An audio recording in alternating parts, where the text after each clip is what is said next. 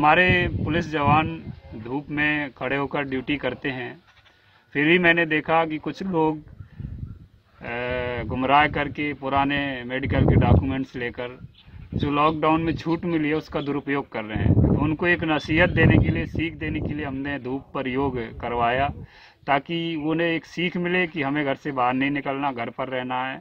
और दूसरा एक अच्छा उद्देश्य था इसका कि योग से निरोग कार्यक्रम ताकि हम सभी स्वस्थ रहें और ये पूरे देश में चल रहा है कि योग वर्तमान में बहुत ज़रूरी है। हमें खुद को स्वस्थ रखने के लिए, कोरोना से लड़ने के लिए।